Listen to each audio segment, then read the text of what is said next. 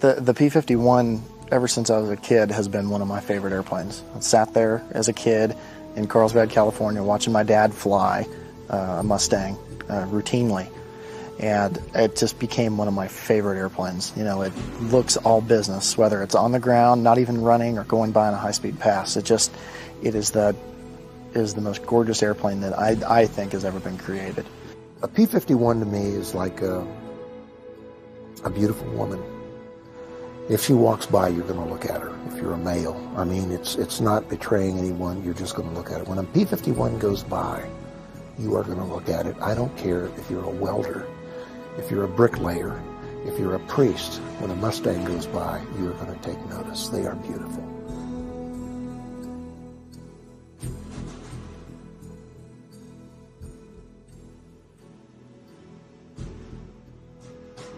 The earliest recollection of seeing my dad work was in Carlsbad, California. I was a kid. My favorite hobby back then was to make airplanes out of refrigerator boxes.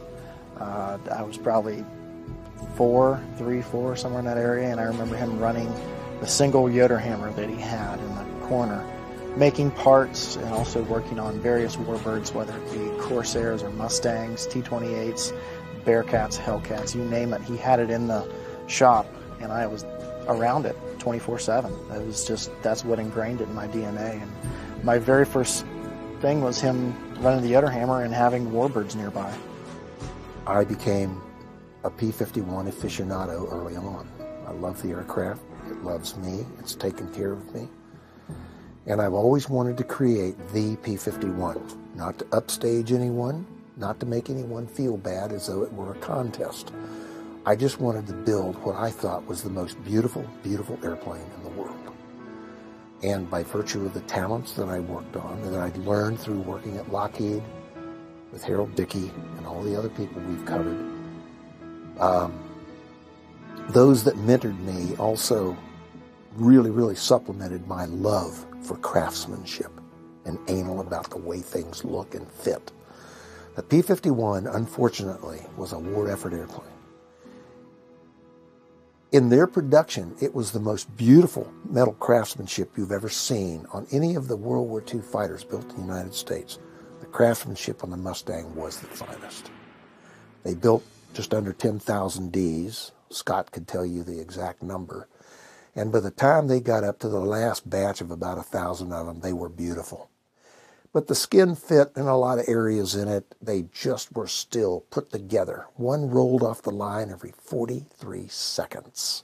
Between the two final assembly lines, a Mustang rolled off the line at the height of production every 43 seconds. That's a true statistic. You can imagine the clamoring and the crawling over top of each other trying to get these airplanes done for final assembly.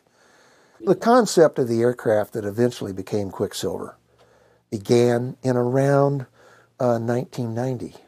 We moved to West Virginia in 1994, and the aircraft flew in uh, in, in, in 2000 and, and early 2007. April Fool's Day was its first test flight of uh, April of 07. So do the math. Uh, the actual construction period was approximately 16 years from start to finish. Uh, that was 16 years of still occurring parts, still talking to the uh, eight or 10 keepers of knowledge, as I call them, who helped talk me through the stuff I didn't know. By the time I moved back to West Virginia in 94, I had a, a, a pretty good pile of parts for Mustangs, stuff that I knew were gingerbread parts and hard to find. So then I purchased a kit from a guy who had the Unruly Julie wreck. It crashed on its first test flight in Chino. And I bought that entire wreckage, little of which did we use except the longerons out of the fuselage. So I began building the airplane. Over the period of 16 years, the aircraft was in construction uh, while I accrued the parts. A lot of the parts that weren't gettable, that were not securable, I had the entire portfolio of drawings. Bob Odegaard and Jerry Beck and myself went together and we put the entire portfolio of drawings for the P-51 series aircraft on eight CD-ROMs. $150,000 later, we had them. And there were seven of us that went in a joint venture and ended up with the eight CDs amongst each of us. So we had all the drawings for the Mustang. So I could legally make parts, especially for a one time aircraft. The only thing was I couldn't put part numbers on them. So we tried to find as many parts as we can with part numbers. The aircraft is about 70%. It has part numbers. This aircraft was in various fixtures around the hangar that you see here. And one of the fixtures was the wing. The wing was together, the left and right wing were, were together, and it was in a uh, fixture where it was where it was resting on its leading edge up off the ground, but the leading edge was pointed towards the ground. So the sides that you saw were the top and the bottom of the wing. Um, we used to, in the wintertime, when I was in junior high and high school, play basketball for the school, and a lot of times we would hold practice in the hangar here. And not having a defined out of bounds marker, we used the wing at the time, and there were several times where the ball would go out of bounds and bounce on the wing, and all of this, all of these memories were repressed until the first time I ever did vertical aerobatics in Quicksilver, and I'm looking out of the wing, and the very first thing I think about is the basketball bouncing off the left wing. And I'm sitting there, I was like, well, I'm glad it didn't hurt it, and I'm glad it's rubber. So, over a 16 year period, this aircraft was constructed. Many skins were fit and thrown away because I wanted the skin fit to be perfect. Actually, I made a mistake I made the skin fits too tight on two places on the wing, and I had to end up modifying the, the ammo bay doors because they were fit so tight that when Scott started doing air shows, when he'd do a high G pull, it would crowd those doors. It was starting to tuck the skins a little bit, so we had to make an alteration there. I had them too fit, too tight. If you look at the aircraft, you'll see uh, it was fit by a guy who's anal about how skins should fit. Uh, with regard to the fillets you were talking about, there's nowhere on the airplane you can take a card and get under any of the fillets. They fit that tight. I did that in memory of the engineers that designed this beautiful bird and tried to build one that would become their talents and give this airplane a chance to be built without a rush, without a war effort construction, and that's what we did. So we built Quicksilver, and in the interim, I had a wonderful partner and angel who helped me financially get this project done because he was a believer. I had worked for him many years on other projects, Mr. Paul Hunter, and uh, of the Hunter Irrigation uh, family. And Paul was a very successful businessman. And so from him came the uh, adequate amount of cubic yards of money to do this and uh, he he he did it without a second thought ever. And he helped me create one of the most beautiful airplanes in the world, in my opinion. We decided, what are we going to do with it? You know, how do we? He wanted it. I don't want it painted. I want to show your metal work off, and I fought that tooth and nail. I don't want a polished airplane. I don't want a polished hubcap, much less a polished airplane. Well, we're going to polish it. Well, how do you say to a guy that's just spent upwards of $3 million to build an airplane with me to say, no, we're not doing that. So I caved. I said, let me design a paint scheme on a, on a theme that, that I would always want to do. I was not a veteran. I was a young, cocky, 15 hour commercial pilot during Vietnam. And I wanted to fly. I didn't have that BA or BS degree, and I took that heavy. And I said, hell with it. And I didn't go in the military. I lost a lot of friends in Vietnam. And I swore that one day I'd make it up. So I told Paul, I said, I'd like to dedicate this airplane to all those who have served this country in the armed forces. And I've got a paint job that'll knock you down. And I sent him the prototype and he said, do it. The very first flight, I was still in uh, airframe power plant school down at Daytona Beach. And uh, I was in the last round of my airframe classes in an electrical class of all things. And I got a text from my mom saying that dad was in the air. Obviously, I thought he was in the air in some other airplane. It says dad's in the air in the Mustang. Very next text. And I look and I'm like, well, not our Mustang. It can't be. That thing wasn't that close to flying. Very next text is he's on the ground safely. Some minor problems. Nothing too bad. So I call him during our break, and sure enough, he had flown it. And I thought it was a joke. I thought it was an April Fool's joke because it was around the 1st of April that he did the first flight. I couldn't believe it. I, he didn't even tell me a couple days prior he was going to do it. He just one day just jumped in it and flew. it was it was ready, and he, why wait? So he did. its maiden voyage was to Oshkosh. And when we broke ground, lightning hit about 30 feet behind the airplane and blew a chunk out of the runway that big as we were taking off. I mean, the trip for Oshkosh was never meant to be. We had an uh, we had a, a, an issue with fuel pressure indication right over Charleston, West Virginia. We circled down through an overcast, did a landing, fixed it, got halfway between here and Oshkosh, nothing but weather. Uh, up at uh, Crossbows or whatever it is, um, um, uh, restricted area. Two F 16s formed up on us and flew us through the thunderstorms, escorted us with radar so that we told approach we could not go through driving rain or we'd lose all the paint on the leading edges. And we got led through and talked with two F 16s that drove us through these towering Hueys to keep us out of the weather, turned us loose. I looked over and one guy in the cockpit is sitting there with his camera photographing the airplane about 10 feet off our wing. And uh, God was with us on that trip. The good Lord was with us. And we got to Oshkosh and were well received. We taxied in.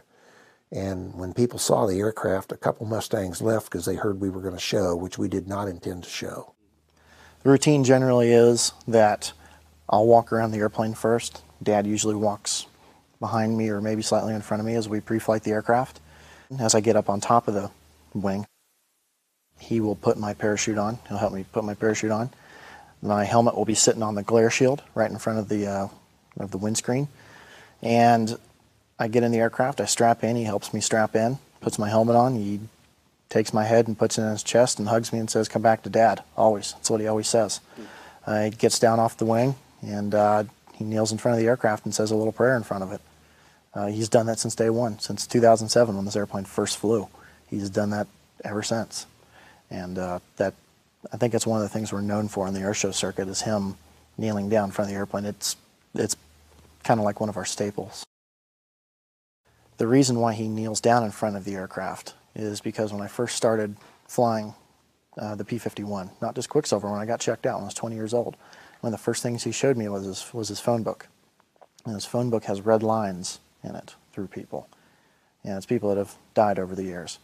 And as we were going through, we counted 14 very close friends that had died in a P-51, not just airplanes, in a P-51 and he let it known that this airplane is by no means just a fighter. It is a for real fire-breathing dragon, and it will bite you at the least when you least expect it.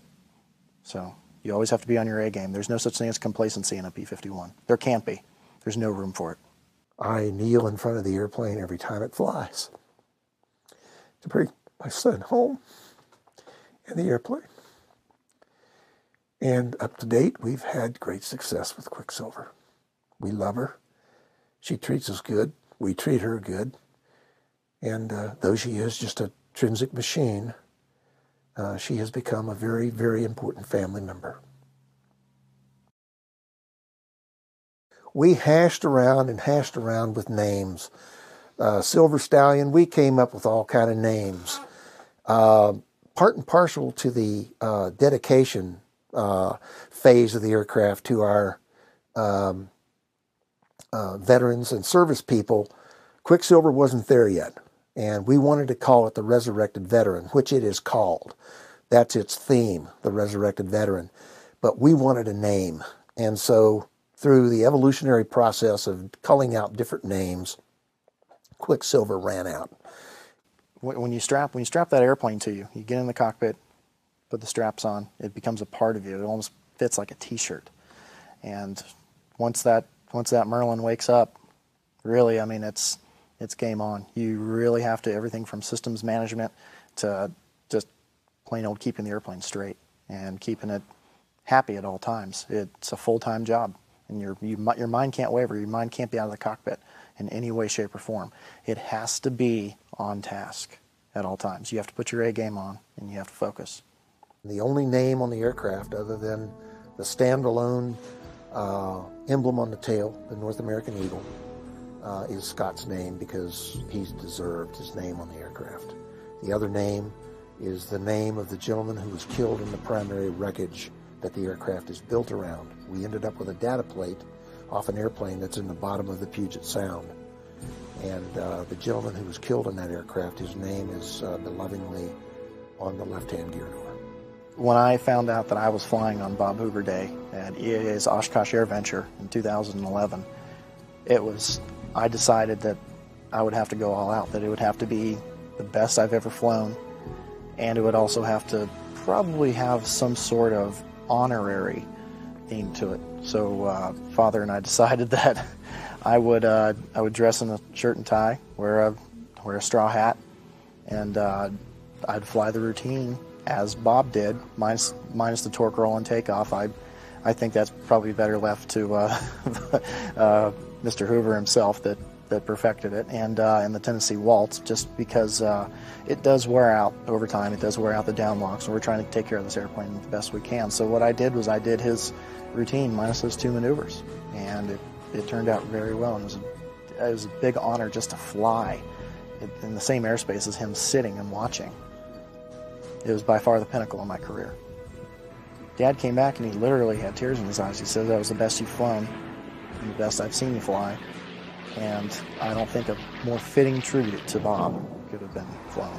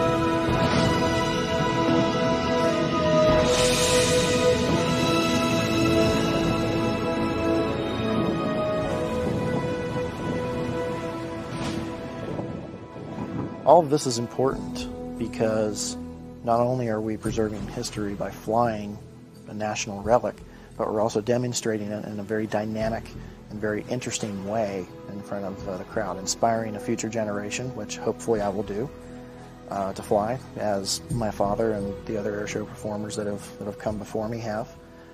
It's just kind of a way of repaying, repaying the industry, repaying the airshow community. I think one of the best things that you can do is ensure the future generation of not only air shows but aviation.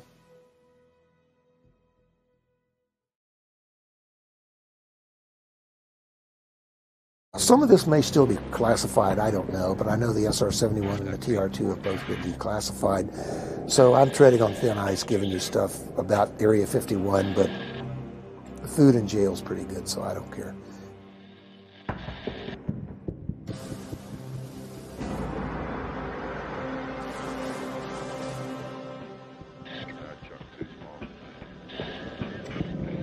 I finished school in West Virginia, high school, went back out seeking my fortune in California. My stepfather wanted me to come back out there. And I went out there and was instantly hired at Lockheed Aircraft in Burbank, California. I was there for just under seven years. Um, during that tenure at Lockheed, I was able to rub shoulders with some really wonderful people. Uh, I was accepted into the apprenticeship program about a year and a half after I hired on for the Research and Development Mechanic Apprenticeship Program, which was a great honor. Out of uh, 680 applicants, they chose 30. And these people were selected by virtue of their uh, knowledge and talent and their and their desire to be in the aviation industry. Fortunately, I was one. I was selected as one of the research and development mechanic apprentice candidates, and that apprenticeship lasted just under six years. Uh, during that tenure, I worked in every phase of the construction of aircraft, final assembly, making parts, uh, going from department to department, coming intimately involved in the construction of aircraft and design. I also worked in some areas at Lockheed that were uh, intimately involved in the support of the black aircraft, namely the SR 71, the uh, TR 2. And uh, those particular uh, departments, uh, I was very, very infatuated with being able to work on such aircraft. They were truly magic carpets and was later on, uh, the last three years, I was accepted. There were three of us that actually passed the security test. Kelly Johnson wanted new blood in the black area. And so I had the pleasure and honor of meeting Kelly Johnson. The three of us were accepted after we passed a strenuous um, security investigation. We were given a small luncheon. We were all three given a cup a plus three cup. It uh, shows a picture of a SR-71 and it says three plus. The airplane actually went 4.4. But anyway, uh, and we were given an SR-71 pin. And those were given to us in the cup by Clarence Johnson. He came to the luncheon. He smoked a cigarette. He was a heavy smoker.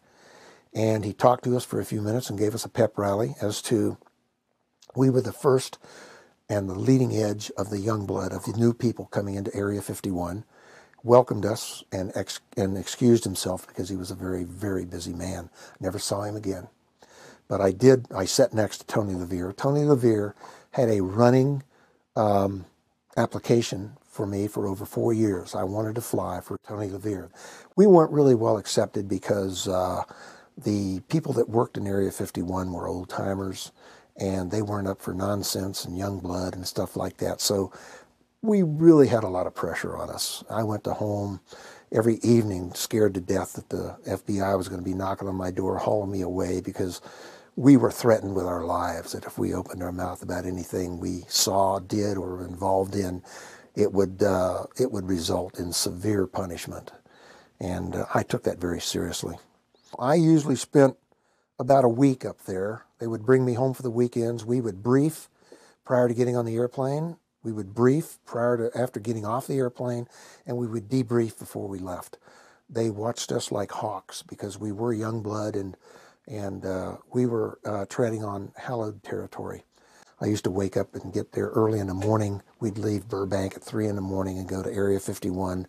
They'd close the windows on the airplane so they thought we didn't know where we were going and where we were and we would land there just about sunup and i would get off the aircraft and look down the runway and at those beautiful mountains the, the papoose mountains and uh, uh, think that i am the luckiest guy in the world to be here because everything there was magic. It really was.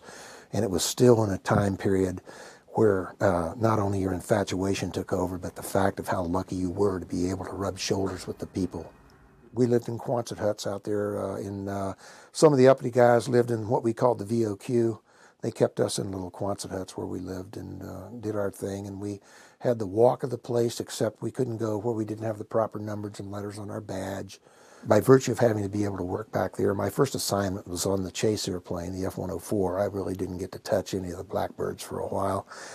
And the only reason I got back there was because of a wonderful gentleman named um, his name slips me now, but I, uh, Frank Torres, he, uh, I was a crew chief with him on the Cheyenne helicopter during its development and so forth.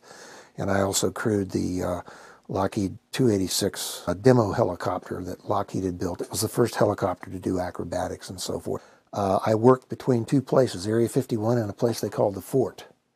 The Fort was down in Burbank where they did uh, high security testing of some of the, um, for instance, the Spike um, actuators were, were, were tested in this place. They also tested the ejection seats. They shot them up in the air and caught them in a net. And uh, also, uh, there was a project that, that was later on with the SR 71s. They developed cracks up under the wings in some pretty critical areas. In each airplane, the cracks were indigenous, they weren't in the same places. So they designed a box that would go on the outside of the outside of the lower belly, and they had a hard point. They bolted this box on. It had cameras. It was water cooled. Uh, it had a coolant system in it, and I helped in the design creation of the box, with a guy named George Buck Buchanan, who was a thermodynamicist at Lockheed, and I was very intimately involved for about six months in the design, conception, and construction of that box and its final implementation and being fitted onto aircraft. Aircraft were brought over from Beale to Area 51. The box was put on. Darryl Greenamyer would fly the aircraft and get them hot, and they would photograph these cracks up under the wings, and then they would design indigenous field repair kits for each airplane. And then it was brought up and they were put on at Lockheed. The Air Force did very little maintenance on those airplanes. Anytime you are, are gifted enough that you qualify, and I don't say that uh, uh, as a braggart, but it requires certain talents to be able to be accepted to work in those areas. But mostly it's your intelligence level and do you contribute? Uh, you were a team player at Area 51 and at Lockheed. You were not an individual. If you were not a team player, you didn't participate, especially in the black area. They still have that creed. Uh, a team player tends to go with security. So uh, yes, it was high security. It was a real pleasure, but it was it had its. I had a lot of fear put in me about talking when I shouldn't, and it took me many many years to get over that. There were friends, very intimate friends of mine, up until recently, did not know where I worked. I never told people.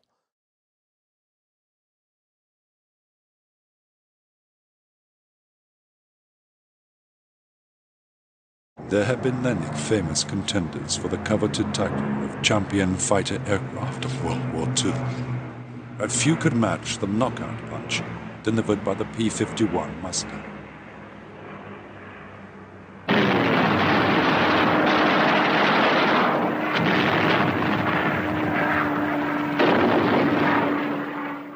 Mustang pilots dominated the series of epic air battles fought over Germany which finally destroyed Hitler's mighty Luftwaffe.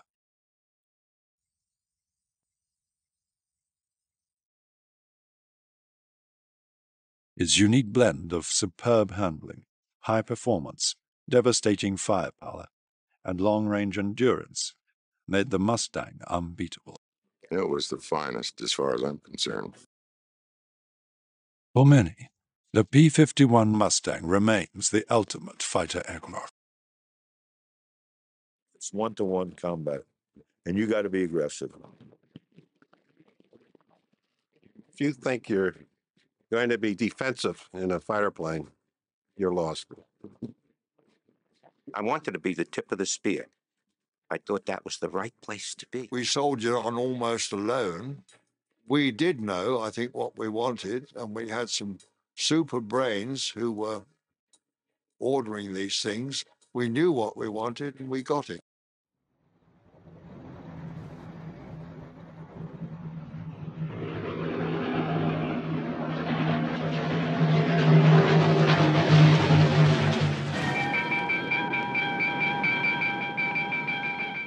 In the late summer of 1940, Britain's Royal Air Force was locked in a deadly struggle with Germany's Luftwaffe, which became known as the Battle of Britain.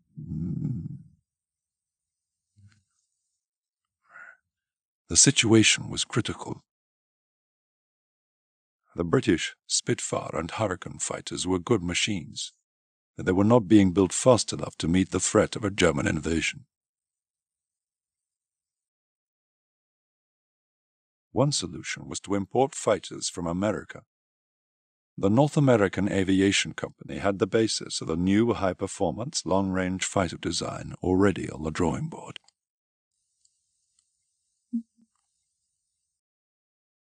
After just 117 days, they rolled out the finished airframe. It was a sleek and streamlined machine, which reached 382 miles per hour during early test flights making it faster than the British Spitfire at low altitude, despite carrying twice as much fuel, which gave it twice the range.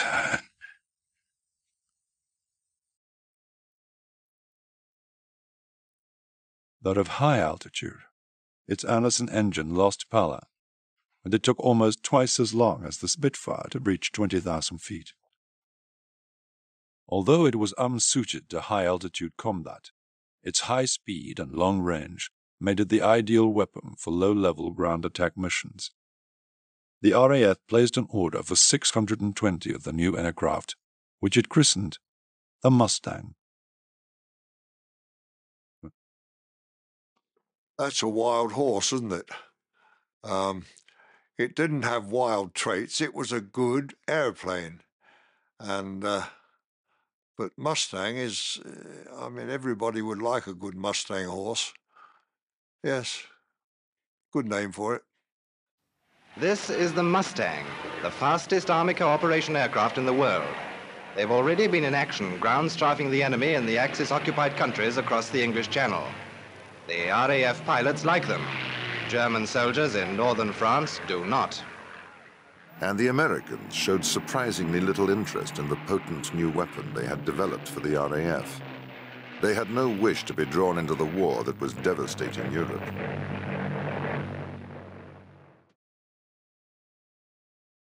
But in December 1941, the whole course of World War II was changed as Japan attacked Pearl Harbor and America entered the war. It was agreed that defeating Hitler in Europe would be the first priority for the Allied forces. Britain had narrowly escaped one invasion, but now there came another, a friendly invasion, as thousands of American troops poured into Britain to help defeat fascism.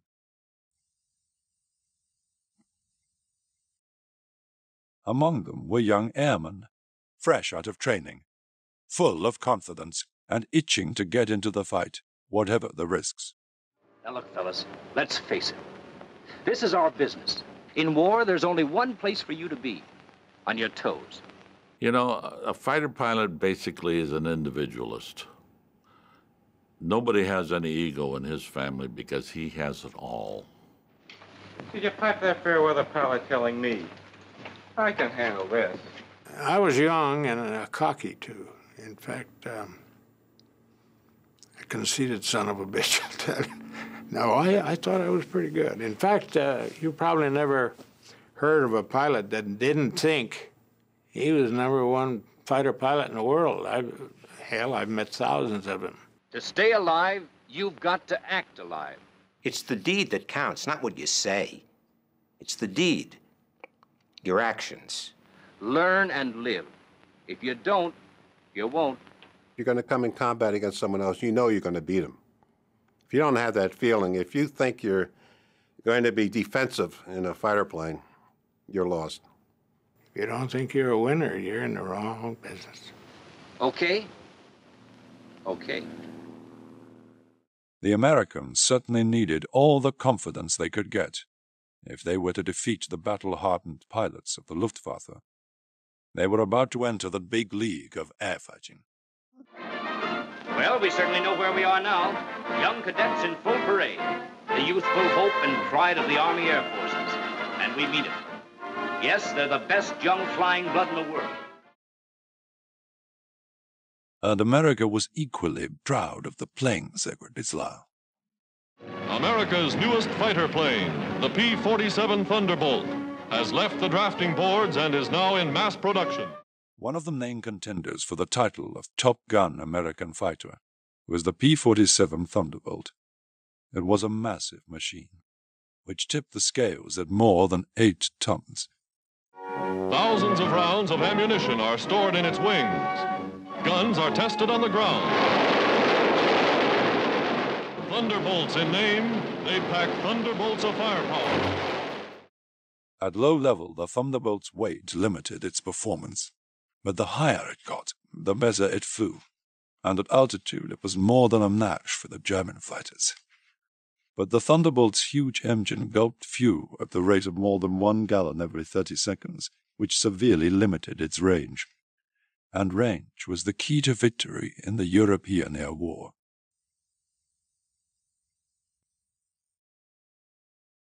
What America badly needed was a fighter which could escort its bombers from their bases in Britain all the way to the German capital, Berlin.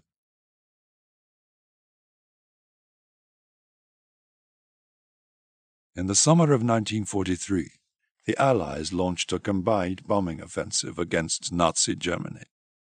It was a 24 hour operation. The British bombed by night, the Americans by day.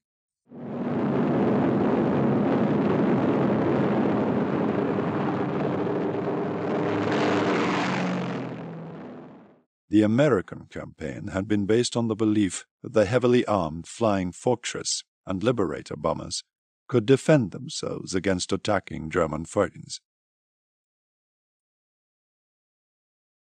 But the daylight raids suffered heavy losses, and it soon became obvious that the bombers needed the protection of a fighter escort.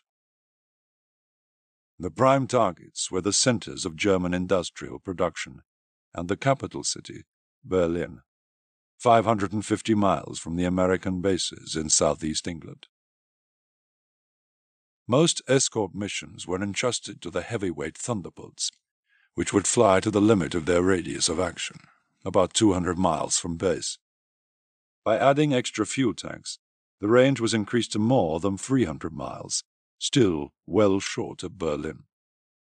Their sole task was to project the bombers, and under the dynamic leadership of celebrated pilots like Colonel Don Blakeslee, the Americans began to earn a formidable reputation as aggressive fighters.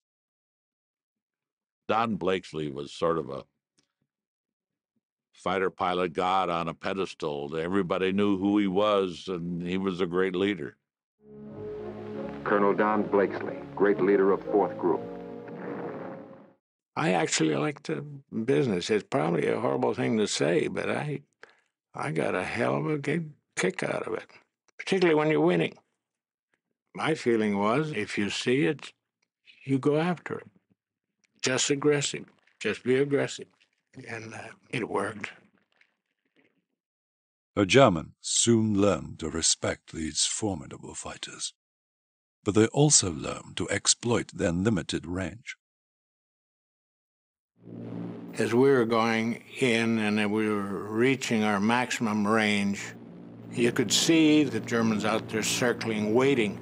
They knew exactly when we had to go. Just when they were needed most, the Thunderbolts were forced to turn for home or risk running out of fuel. Now the bomber crews were on their own, knowing that the German fighters were lying in wait for them. That was rather disheartening when you saw them turn back, because you knew you were going to catch it from then on. And as soon as we would leave, you could look back and you could see the tangling going on. And this was a horrible sight. There was nothing we could do. Fighters at 6 o'clock. This is what a gunner sees. A speck in the sky. That's a fighter. And then a blink. That means he's firing at you. 2,300 rounds a minute.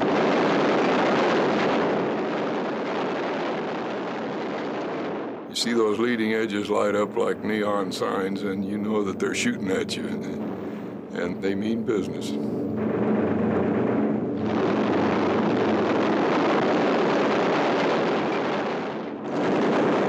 They must have got a direct hit on the bombs because there was an explosion, little pieces of tinsel falling down, and a smoke ring started to form. And by the time we got out, the smoke ring was still in the air. That's all there was left of it. Sad.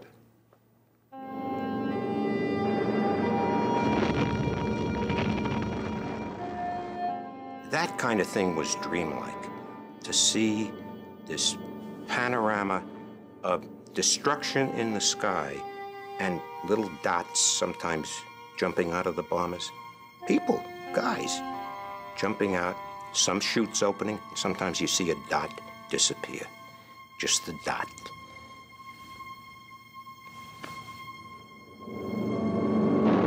Come on, you guys, get out of that plane. Bail out.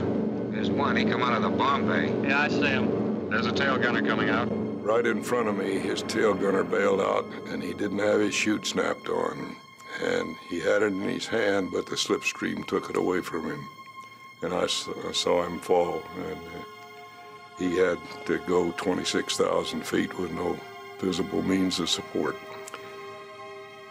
Uh, the only thing I could think of, well, he's got plenty of time to say his prayers on the way down.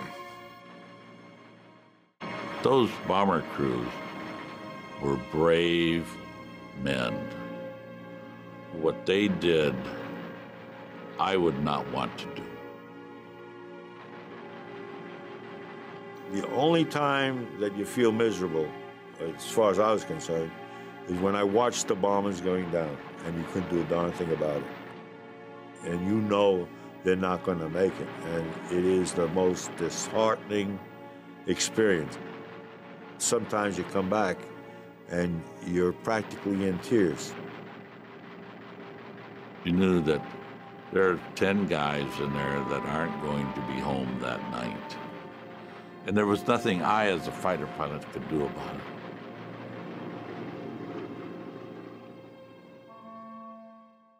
The need for long-range fighter escorts was proved beyond any doubt on the 17th of August 1943.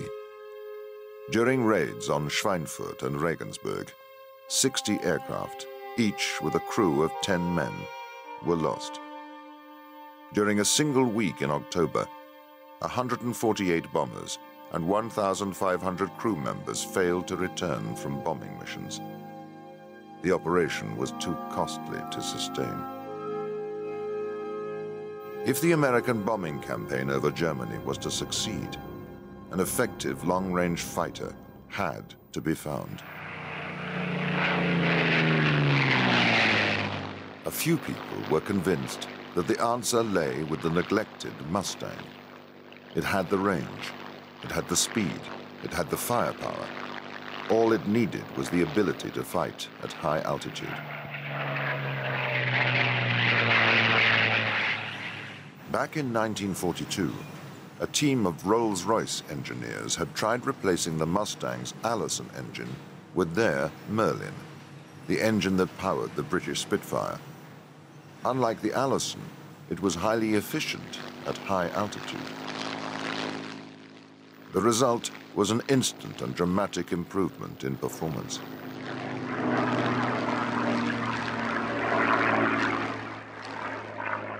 The Merlin actually delivered more power at 25,000 feet than the Allison had on takeoff.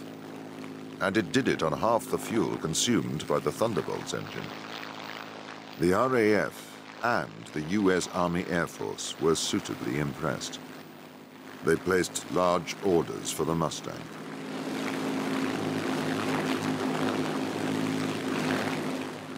It was agreed that the American-built Packard Merlin should become the standard engine for all future production.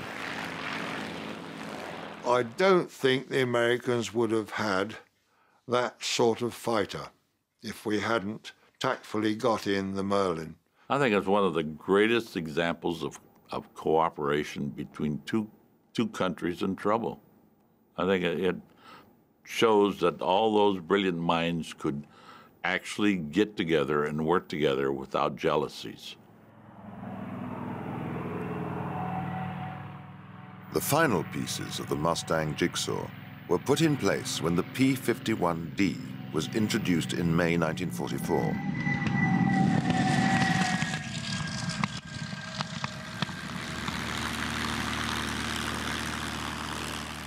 The new model was redesigned with a low-back fuselage and a bubble canopy of clear plastic, giving an unrestricted field of vision while creating an entirely new and distinctive profile.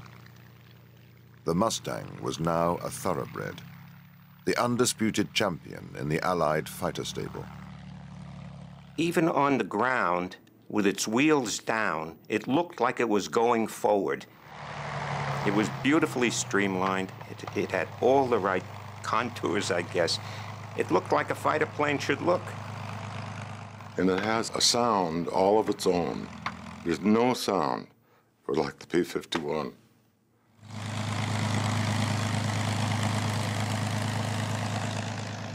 The Mustang is the pilot's airplane. You have to understand that. You climb into that plane, and that airplane becomes a part of you.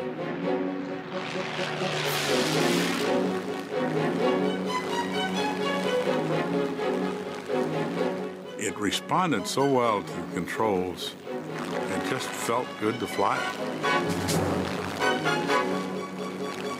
We used to say, uh, if you wanted to turn left, you roll your eyeballs left, and that was about all you needed.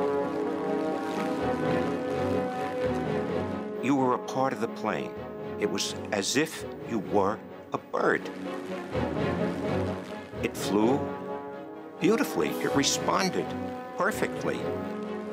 It flew with power and grace, and it was gorgeous to, to be in that plane and flying.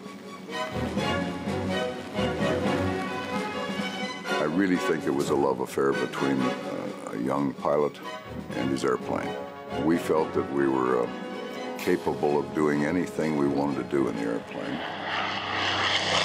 The enemy was defeated in our mind when we crawled into the, into the cockpit. They had been given the most potent fighter in the Allied arsenal. It had the best engine available. Its six heavy machine guns, three in each wing, could unleash a total of 1,880 rounds. It carried over 400 gallons of fuel, with two disposable drop tanks fitted under the wings, and could fly more than 2,000 miles.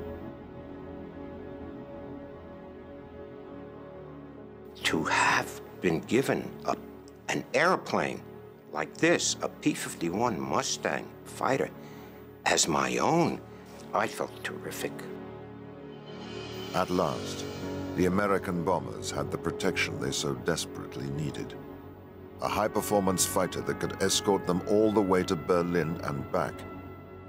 It was a turning point in the war.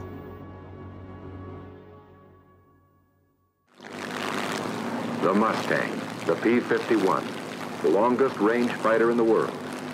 Speed, fast climb, quick dive, tight turns.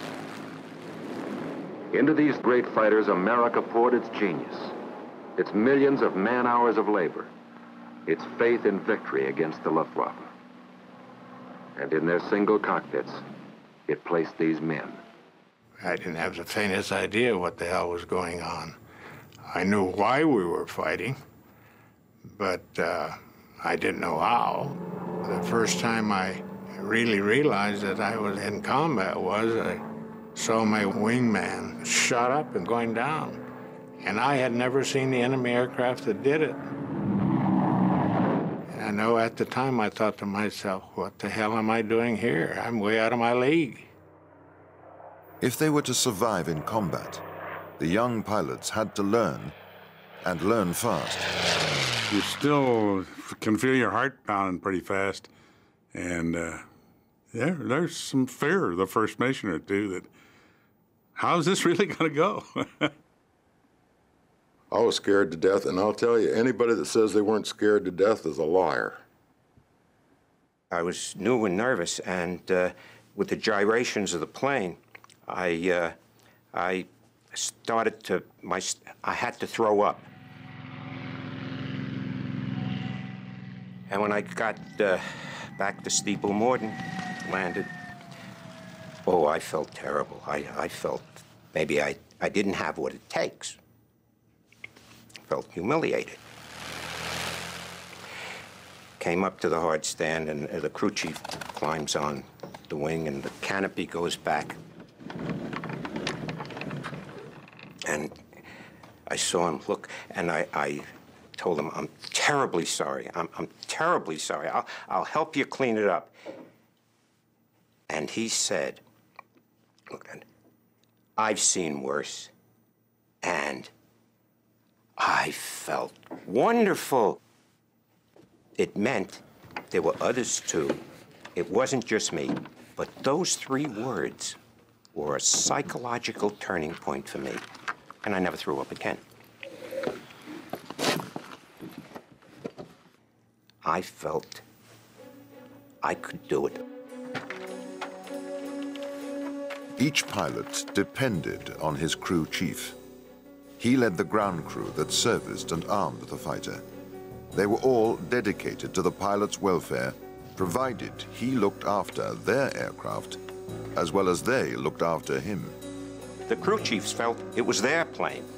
The plane was charged out to the crew chief, not to the pilot. And he took care of that thing as if it was a, a little baby. Right. He did everything but put a diaper on it. I'm still fighting with my old crew chief for 55 years as to who owned my airplane. You talk to a crew chief, he owned it. You talk to a pilot, the pilot owned it. He says he owned it, and you only fly because I let you. When the airplane is on the ground, it belongs to the crew chief. It's his airplane. And it's almost like a father with his daughter. And you come as a high school kid and you're going to take his daughter out, you know? So he looks you over and he checks you out and everything, and you're very careful. You bring my daughter back, and it's the same thing with the airplane. But when you climb into that airplane and the crew chief and the assistant crew chief buckle you in, they snap on your harness, and the umbilical cord is tied, it's no longer his airplane, it's my bird. It was my girlfriend, it was my baby. The Mustang pilots liked to personalize their aircraft. Most were named, often in honor of wives or girlfriends back home.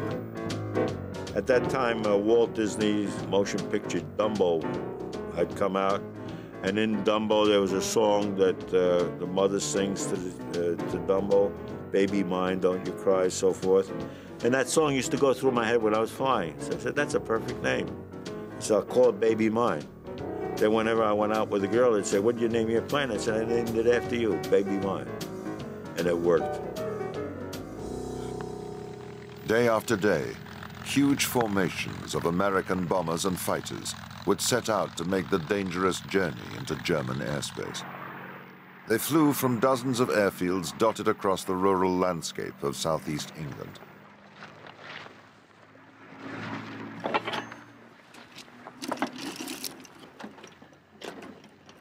We were sort of like a flying gun platform in a flying gas tank. That's what you were. Because every inch of that plane practically was loaded with gas and ammunition.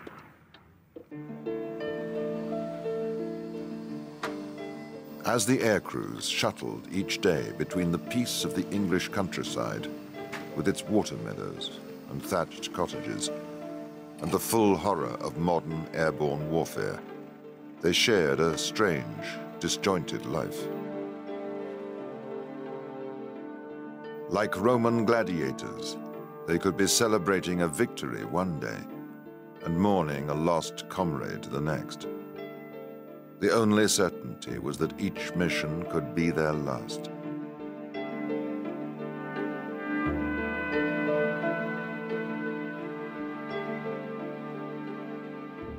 I always knew I was coming back.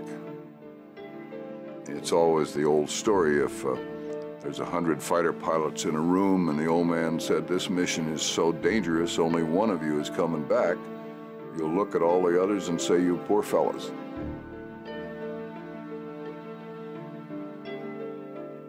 A fellow in my barracks had a chessboard, and he and I ran a, an ongoing chess game at all times. And we often said, well, this is to guarantee that both of us are coming back because we want to see who wins this chess game. And it's so random. You don't know where it's going to happen or to whom.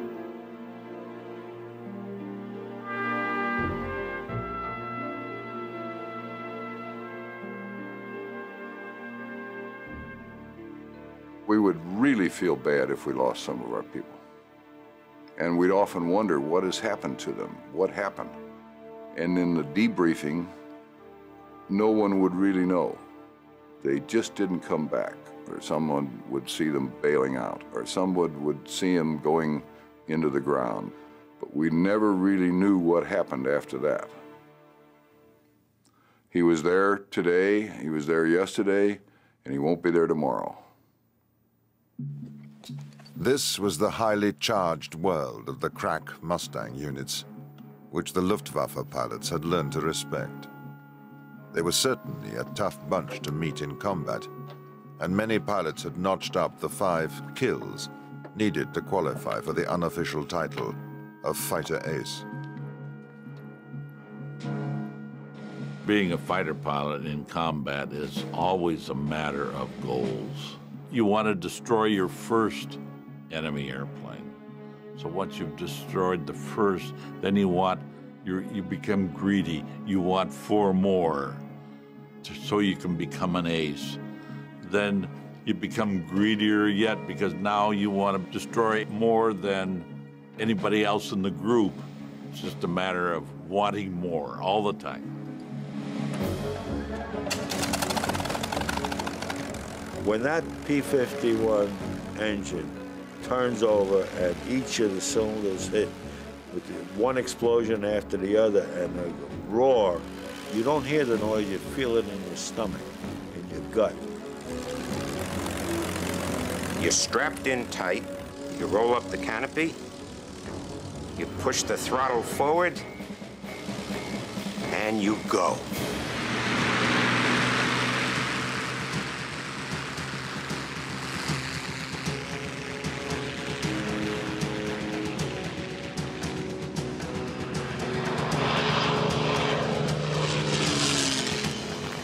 Several mornings when we were escorting and the sun was just coming up. And it looked like a silver road in the sky with those bombers. It was an amazing sight, one that I'll never forget. A thousand bomber mission meant that there were 700 fighters escorting the thousand bombers.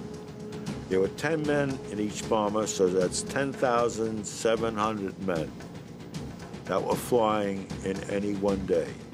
This happened on a daily basis.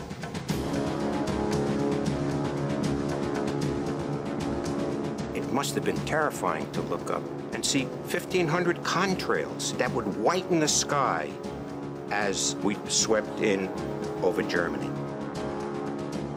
And watching for those telltale white streamers would be the German anti-aircraft gunners and fighter pilots, determined to defend their homeland, whatever the cost.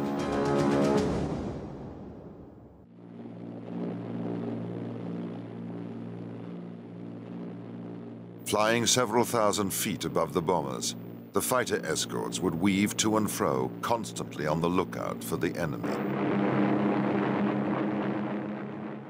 If there's one characteristic that you need to be a fighter pilot, it's a neck that turns. If you're up there and flying at, say, 22, 25,000 feet, there's a heck of a lot of sky, and you're constantly looking around, not only to protect the bombers, but to protect yourself. We love to see them escort um, because we knew when they were around, we were not likely to get any fighter attacks, or if we did, they would be chased off in a hurry. But we thought the fighter escort that took us all the way to Berlin and back, that was really something great. Escort duty could be lonely work, with only the minimum of radio contact to break the isolation. You didn't hear swishing or anything like that of wind going by. All you heard was the noise of this powerful Rolls-Royce Merlin engine in front of you. And you hoped you heard that noise through the entire flight. The pilot would regularly switch between the Mustang's five fuel tanks, draining the external tanks first. They would be dropped before going into action. Escort missions could often last for more than six hours, and pilot fatigue was always a problem. You were the only person in the plane, of course. You were the pilot, you were the navigator, and you were the gunner. When I got up high there, like 22, 23,000 feet, and I might not have, no one else was around, I had this terrible lonesome feeling with the earth way down there. When you get up at altitude, it's 50 degrees below zero centigrade outside that plane. And when you have an eighth of an inch aluminum between you, it doesn't insulate you, it conducts the cold into the cockpit. So it is cold. Numbed by the cold, dazzled by the blinding sun, and deafened by the roar of his engine, his senses were dulled, and it was easy to lose concentration. I think more than the fatigue, and I have to be candid about it, uh, was the, uh, the boredom.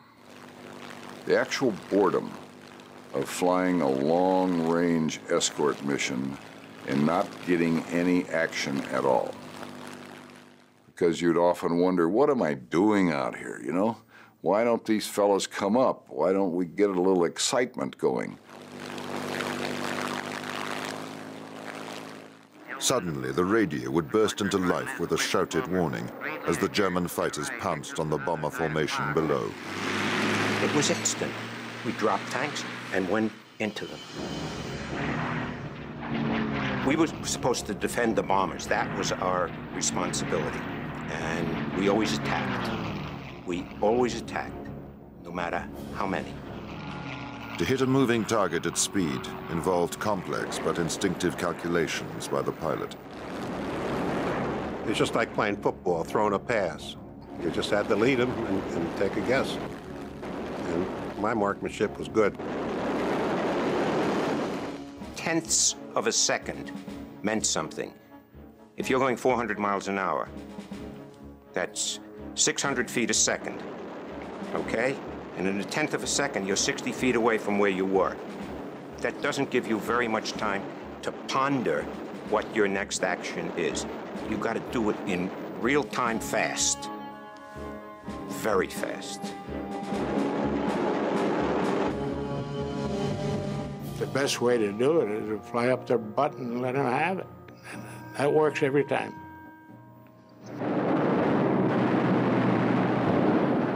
I'd say at least 50% of the time, the, the victim was unaware that he was being attacked. And, and, that was the ideal situation for getting a kill. But you sneak up on a guy and doesn't even know you're there, and then you blow him out of the sky.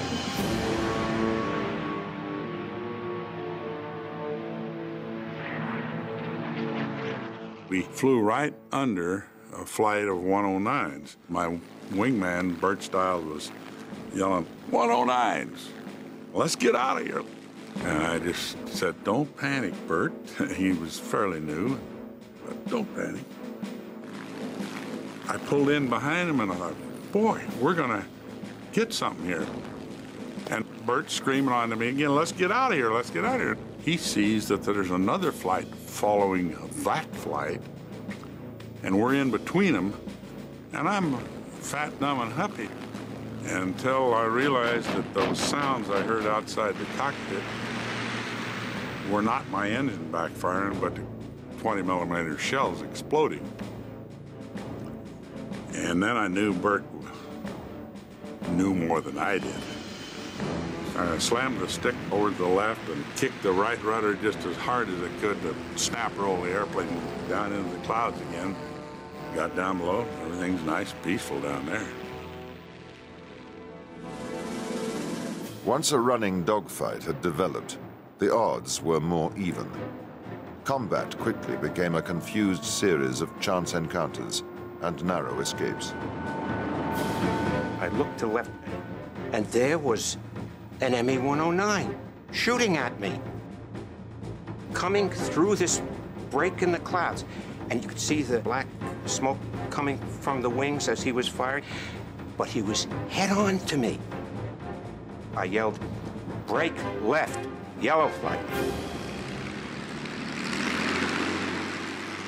Attempts to outdive an attacker often ended with a high-speed chase at low level.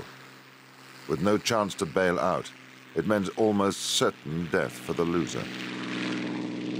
He knew he was going to crash, so he pulled up trying to get altitude to bail out. And he didn't quite make it. The parachute didn't quite open, and, and of course I saw him hit the ground. And that was a, a very, uh, well, it was a, a difficult moment, let's say. Then you realize those people are just like I am. You know, uh, he's, he's a fighter pilot, and I was too. All this happens in a matter of seconds.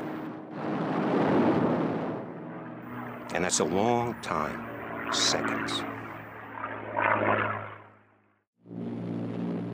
The German capital, Berlin, was ringed by hundreds of anti-aircraft guns. As the bombers neared their target, they had no choice but to fly straight into the barrage of exploding shells. Now the escorting fighter pilots could do nothing except watch. Even the Mustang couldn't fight the flak. When you were on a bomb run, you knew that bombardier, his bomb sight was controlling the airplane, and you knew that he wasn't going to take any evasive action. No way he could. And so you were a sort of a sitting duck. When I talked to fighter pilots, uh, they said, boy, I wouldn't want to be in your shoes. You know, you have to they're flying through all that flak. We don't we don't mess with that. Then I say, well, I wouldn't want to be in your shoes either. But uh, it just seemed to me like the, what they were doing was a heck of a lot more dangerous than what we were doing.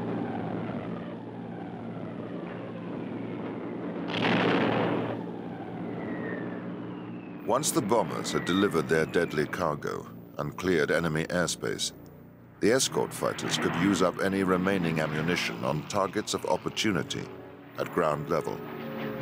Luftwaffe bases, road convoys, and supply trains were the favorite targets.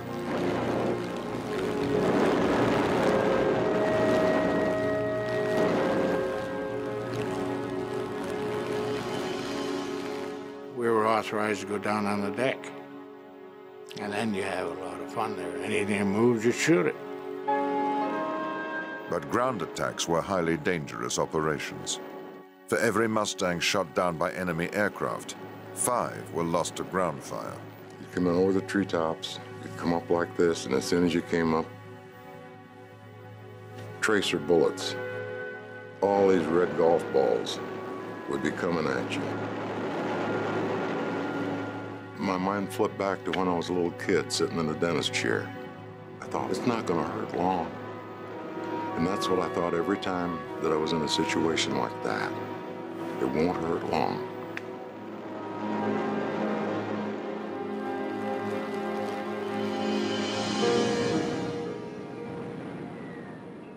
As the bombs rained down on German industrial cities, they tore the heart out of the Nazi war machine.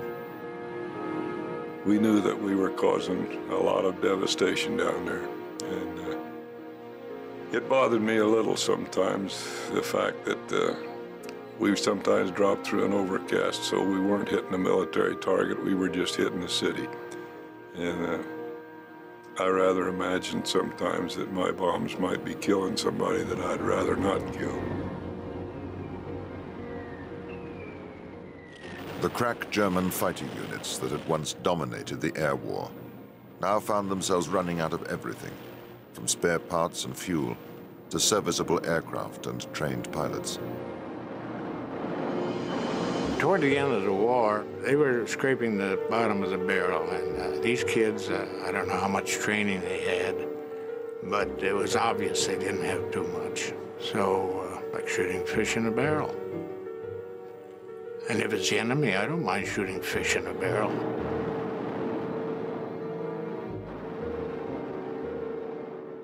On the 14th of January 1945, Mustangs notched up 161 kills. During a series of turkey shoots on the 16th of April, more than 700 German aircraft were destroyed, mostly on the ground. More than 80 aircraft were destroyed in a single attack on one airfield. Hitler's once mighty Luftwaffe was finished.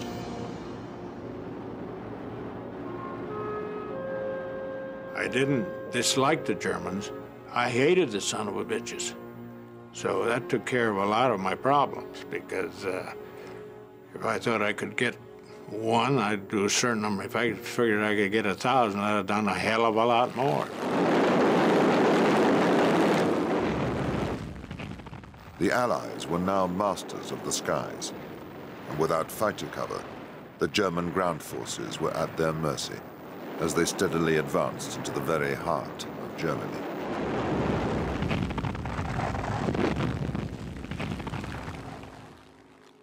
Hermann Goering, the chief of Hitler's Luftwaffe, knew only too well the part played by the Mustang in his defeat. When I saw the fighters over Berlin, he told his captors, I knew the jig was up. When the war in Europe finally ended in May 1945, the Mustang still played a crucial role in the Pacific. But its glory days as a long-range escort fighter were almost over. That was a hell of a plane. It was one of a kind. In its day, I mean, it was the finest as far as I'm concerned. You'd never forget. I got to tell you this. I think what it is, uh, uh, that was the the only thing I've ever done in my life uh, that did anything for mankind. And so you never forget it.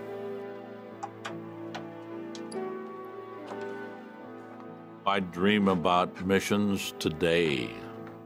I dream about what I could have done, what I should have done, where I made mistakes, where I could have improved myself. I still dream about it all the time. In those days, there was a strong sense that we were fighting to save democracy, without a doubt. We were all committed to winning, and if necessary, to sacrifice our lives. There was no question about it. People didn't draw back even though they were outnumbered 15 to 1. 10 to 1, 15 to 1. That didn't hold them back.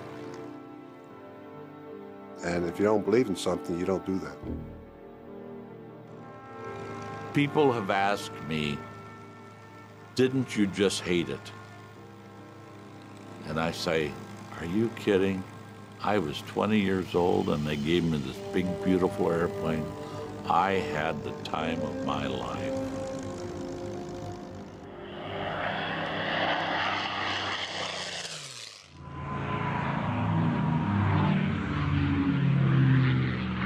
If you enjoyed this video, please remember to like and subscribe. And as always, thank you for watching.